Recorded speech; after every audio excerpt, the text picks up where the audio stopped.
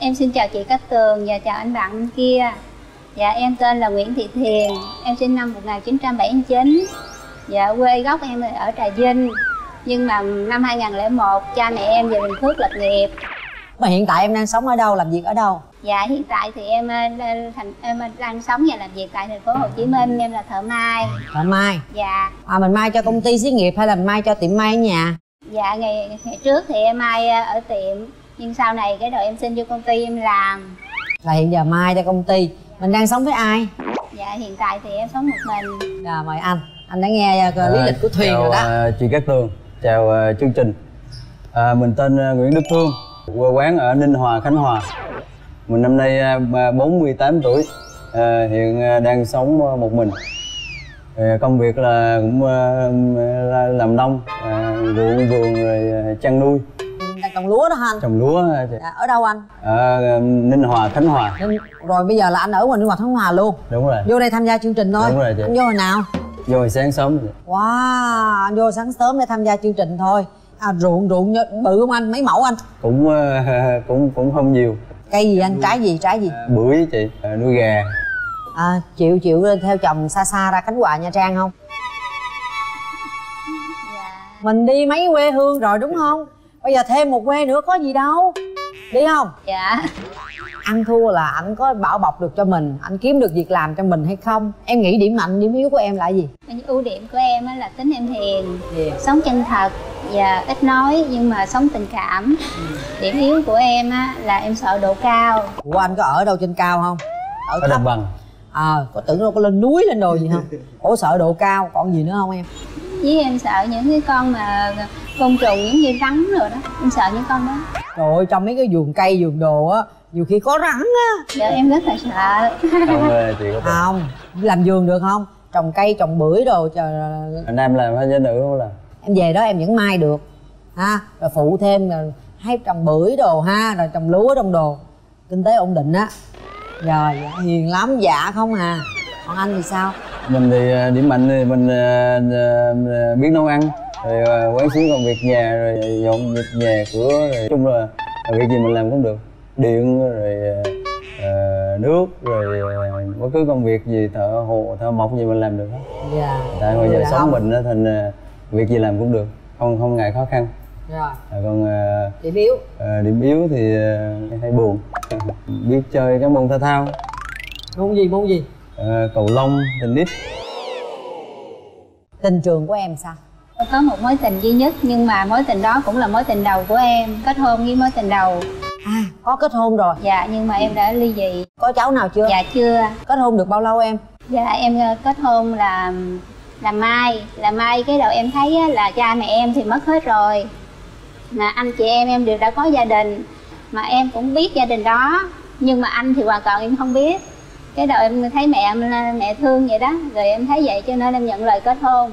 Em cưới nhau là trong vòng 2 tháng là em chia tay. hai tháng là chia tay. Là lý do tại vì là em phát hiện là ảnh có người thứ ba. À có người thứ ba. Thôi cái đó là không được rồi. Dạ, cho nên là em thấy là em thấy không phù hợp với tính em cho nên em tự nguyện rút lui. chia tay được bao lâu rồi em Dạ em chia tay cách đây là 4 năm. hơn là cũng chưa có con cái chứ không là lại tội con cái nữa mai mối là một chuyện mình phải tìm hiểu nữa đó là do em không tìm hiểu đó Dạ. đúng không còn Dạ. anh thì sao ạ? Mình đã Dạ. có gia đình lần nào chưa? Tình trường mình thì cũng ờ, lập gia đình một lần. Dạ. Rồi cũng ly hôn đây hơn 5 năm. Hơn năm năm. À, mình có một bé gái này học lớp 2 thì ờ, ở với mẹ. Dạ. Anh muốn người phụ nữ à, phù hợp với anh là người phụ nữ như thế nào? À, hiền rồi ờ, chung thủy. Rồi sống ờ, đừng có gì cái vật chất quá.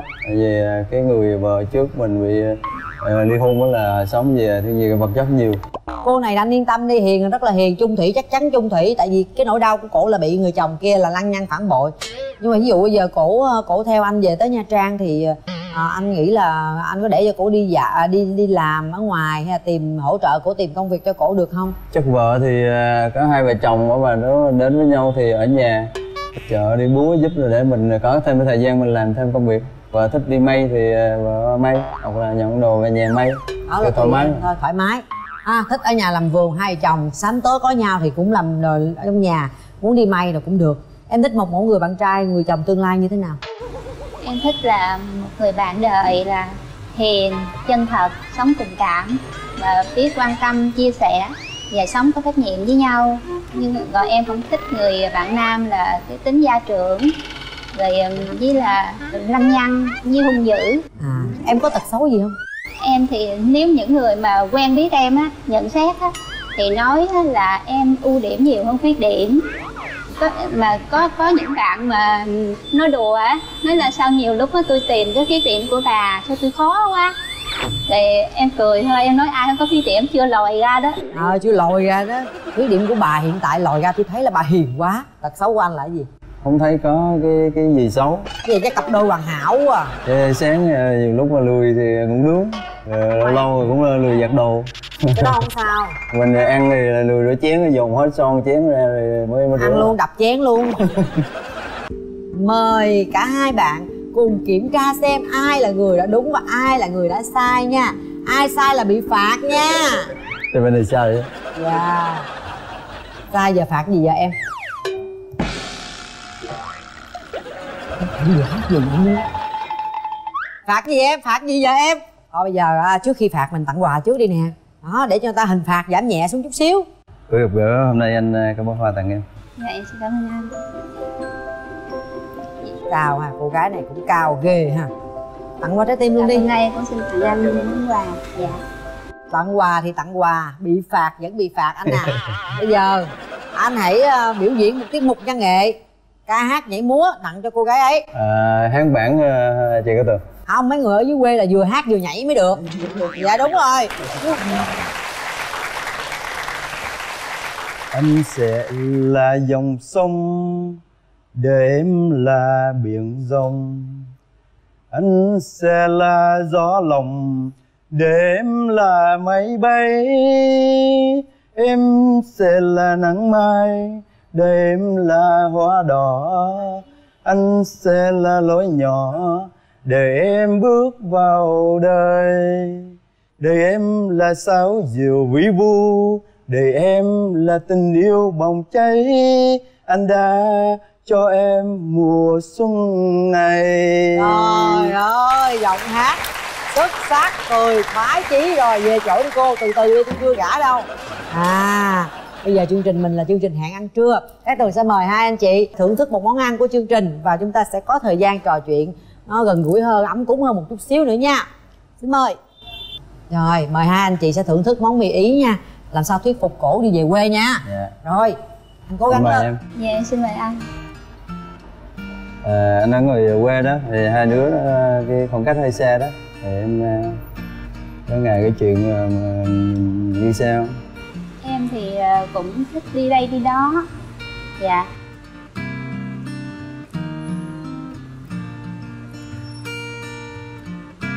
Không em cứ cứ nói thoải mái tự nhiên à, chia sẻ cái suy nghĩ của mình. Nhưng mà tính em ít nói lắm.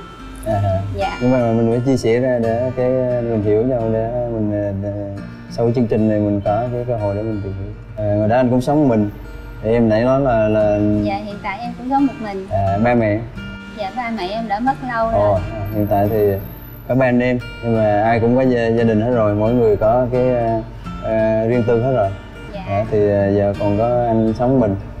À, thì ờ, đó, đó mình, mình, ờ, cứ nếu mình ờ, như em thì ờ, không ngại cái cái khoảng cách xa xôi thì ờ, ờ, sau chương trình này mình cho nhau cơ hội để mình tìm hiểu thêm cuộc sống thì ở quê nó hơi ờ, buồn. Nhưng mà chắc hồi trước đây em cũng cũng sinh ra quê hả dạ em thì cũng là một cô gái quê. Em cũng sinh ra thì cũng là con nhà lao động. Cho nên em thì bản thân em thì cũng rất thích lao động. Chứ không thích ở nhà ở không. Thì ngoài đó thì ờ, chung những việc nặng thì anh làm. Còn em thì nó ở nhà thì chợ búa thì phụ anh những cái việc ờ, ờ, để cho anh có thêm thời gian làm vườn ruộng hoặc là làm thêm ngoài để mình sống sắm xích để có kinh tế gia đình. Còn cái hạnh phúc là cả cái việc gì mình cũng vượt qua được hết em em dùng ờ, tí đi Ờ, dạ.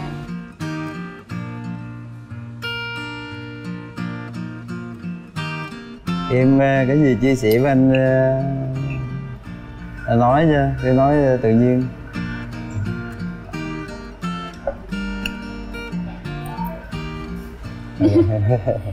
Hôm nay gặp em khớp quá à rung quá à không biết nói gì hết á đang run nhưng mà cũng cố gắng nói để hiểu. Dạ. Ừ. vậy Thế em- mời anh. À, em được rồi. Cặp này trời ơi hiền quá không có tôi làm sao mà trò chuyện với nhau được. Cái gì mà ngồi không là cái tay cổ cầm cái đĩa ăn không một con cũng run nữa làm sao mà trò chuyện được. Bây giờ cái gu của em sao nè để chị khai thác giùm cho nè. Em thích sao? Tôi thấy cái gu cô là có vẻ là hơi có vẻ là à, à, à, màu tím nha hơi miền quê nha à, đúng không? Thích có hơi lãng mạn thơ mộng phải không? Hơi sến sến xíu đúng không? Thích vậy không? Dạ, nếu mà khô khan cọc cằn quá thì em chắc cũng không thích đâu. Khô khan là không thích biết ngay mà. Đúng chưa? Dạ em cũng thích là nhẹ nhàng. Dạ nhưng mà quan trọng là phải sống chân thật. Ảnh ở nha trang em ở trong này thì theo như em nghĩ á mình hẹn hò như thế nào em thấy cái xa quá em cũng không biết phải như thế nào nữa. Nhưng mà chắc có thể là liên lạc với nhau qua điện thoại. Ờ, khi nào anh sắp xếp được thì anh có thể xuống đây gặp em. À, hoặc là, dạ hoặc là em sắp xếp được thì em cũng lên thăm gia đình anh. Trời ơi dễ thương quá thấy không? Người ta không nói ta nói câu nào hay câu đó đó. Chỉ làm sao để tạo một cái cái cái cái điều kiện tạo cái thời gian để mình ờ, có thường gặp nhau hoặc là không gặp thì mình trò chuyện qua điện thoại. Không nhưng mà thí dụ bao lâu thì anh có thể thăm cổ được một lần? Xe thì chắc ờ, cũng một tháng một hai lần. Nhiều quá anh có làm được vậy không? Chắc chắc cố gắng được. Ồ vậy được rồi. Tháng một hai lần được không em? Chị tưởng trong bụng chị chị nghĩ anh nói là hai ba tháng một lần. Mà trong khi anh nói một tháng mà một hai lần là chị thấy ngon rồi đó ở nhà ngồi đó đơn chiếc lắm và công việc nhiều lắm. Mình đi ờ, để ngồi đó đi ờ, từ chiều qua là để ngồi đó rồi tối nay chiều nay tối phải về là đi về là đóng cửa hết ha đóng cửa. Chị nghĩ bây giờ vậy nè. Bây giờ mình chỉ cần rút ngắn cái thời gian tìm hiểu nhưng mà phải tìm hiểu. Lần trước mình đã không tìm hiểu rồi nhưng mà chị thấy nè chỗ này ngon lành nè cái chị bạn đi theo bóc mẻ nè. Nhà dưới quê là ngon lành em khỏi phải lo việc kinh tế ăn uống. Rút ngắn quen tầm 6 tháng là đám cưới là được rồi là dọn ra ngoài ở mình có thêm một quê hương thứ ba nữa nha trang. Mai mốt thì theo như anh nghĩ trong gia đình kinh tế ai sẽ là người quản lý? À, chắc người vợ đi chị. Bây giờ trên tay của Tường sẽ có những cái câu hỏi nha. Mỗi người sẽ bóc được một câu hỏi Sau đó đưa cho Tường Tường đọc câu hỏi lên. Giống như mình chơi trắc nghiệm đó Để coi hai bạn có hợp tính với nhau hay không nha. Mời anh bóc một lá bài Và anh đọc cái yêu cầu đó lên cho cô gái. Nói thật lòng cảm nhận khi nhìn thấy đối phương. Nói thật lòng Cảm nhận của em khi nhìn thấy anh ấy. Khi mà lần đầu gặp anh thì em thấy anh thì hiền thật. Cũng dễ cũng dễ mến. Trong lòng em hiện tại em có thấy chút gì sao xuyến Có thấy rung động gì không? Hay là cảm xúc của em hiện tại bây giờ như thế nào? Dạ, dạ em cũng vui. Rồi, bây giờ em hãy bóc một câu hỏi dành cho anh dạ em xin bóc dạ em xin đọc câu hỏi là bạn có quan trọng ngoại hình người yêu không? Đối với mình thì không quan trọng lắm. Mình ờ, quan trọng là cái ờ, tính tình người đó và cái cách sống của người đó. Rồi chị xem Nói thật lòng Điểm bạn thích nhất ở đối phương Em trả lời trước. Dạ là em thích bạn đối phương là hiền. À, mình cũng thích bạn nữ là cái tính hiền. Một sự trùng khớp điểm bạn không thích ở đối phương. Đừng nói hiền nữa tôi chết liền luôn. Chưa thấy cái điểm nào không thích hết. Đang tìm á ta cảm tình. Đang có cảm tình. Em? Dạ em cũng uh, chưa tìm ra được cái uh, điểm không thích. Thấy ghê không thấy điểm tốt không? Điểm xấu không? Thấy. Tôi ngồi đây tôi thấy toàn điểm xấu không à? Mời anh. À câu này hay nè. Bạn làm gì để yêu xa được hiệu quả? Thường xuyên quan tâm ờ, bạn nữ. À, rồi cố gắng sắp xếp cái thời gian để ờ, có thời gian đến để ờ, gặp bạn nữ để hiểu nhau nhiều hơn. Em ờ, cũng nghĩ tương tự như vậy. Cả hai bên đều mà cân bằng được trong cái sự mà giờ thời gian anh có thể xuống thăm em hoặc ngược lại em lên thăm gia đình anh. Em cũng tương tự như vậy. Trời ơi rước về liền đi. 6 tháng thôi không có được lâu hơn nha. Dạ, chắc 4 tháng hả chị? Bao nhiêu lâu thì chúng ta tiến tới hôn nhân được? Dạ đối với em thời gian không quan trọng. Quan trọng là sự chân thật và hiểu được nhau dạ. Bản thân anh thì sao? Anh muốn khi nào tiến tới? À, mình nghĩ là do cái khoảng cách xa đó nếu mình à, thật lòng thì à, dù có nơi nào thì mình cũng phải thật lòng với nhau. Thì cái khoảng thời gian mình đến với nhau thì không không cần phải nói nhiều hay ít. Cho anh thêm một cơ hội nữa để nói một điều gì đó cuối cùng với bạn gái trước khi quyết định bấm nút hay không bấm nút anh sẽ nói gì với cổ lần đầu tiên gặp em thì anh thấy mến em. Mình cho nhau cái cơ hội để mình tìm hiểu thêm sau chương trình này. Để mình nếu mà thực sự hiểu nhau thì khoảng thời gian mình à, ngắn nào thì tốt đó để mình à, có được bên nhau để xây dựng cái mái ấm gia đình. Đặt tay vào nút bấm đi anh chị. Khi nào anh về lại nha trang? À, chiều nay chị. Chiều nay luôn hả? Không dành thời gian đưa cổ đi ăn đi chơi hả? À, chắc ăn lát rồi mình đi uống cà phê hoặc ăn gì đó chứ rồi tại nhà nhãn rồi đó không ăn rồi đó. Dạ rồi. À các bạn ơi hãy đưa ra cái quyết định của mình. Cảm giác của tường đang rất là tốt quá không biết mọi người như thế nào nha. Bây giờ tường chia sẻ với anh chị bấm nút là hẹn hò với nhau nhé bấm nút chúng ta trở thành bạn trai bạn gái để tìm hiểu để tiến tới hôn nhân. À, nhắm mắt lại và đưa ra quyết định của mình sau 3 tiếng đếm. Nếu như đồng ý bấm nút thì nhấn thật mạnh vào nút và giữ nguyên. Nếu không đồng ý chúng ta có quyền lấy tay ra. Một hai ba. Hết thời gian. Wow khoảng cách không quan trọng bây giờ mọi người tin chưa? À, thật ra trò chuyện rất là ít luôn nếu mà tường không ngồi đây giúp hai anh chị này tường nghĩ chắc hai anh chị không nói được câu nào luôn quý vị. Nhưng mà ông biết một hồi nữa ra ngoài kia thì có nói được nhiều hay không nha? Nắm tay nhau đi anh chị. Dạ. Hãy dành tặng nhau một nụ hôn đầu tiên đi ạ. Dạ. Anh ơi, xin phép hôn em. Trời ơi dễ thương quá. Đẹp đôi nè hả chị ha hồi nãy em tin chị đó nha. Biệt thự ở quê nha. Mai mốt em đi điều tra phải chị chịu trách nhiệm á rồi, cảm ơn anh chị rất nhiều. Nếu mà có tin vui thì anh chị sớm báo cho chương trình nha.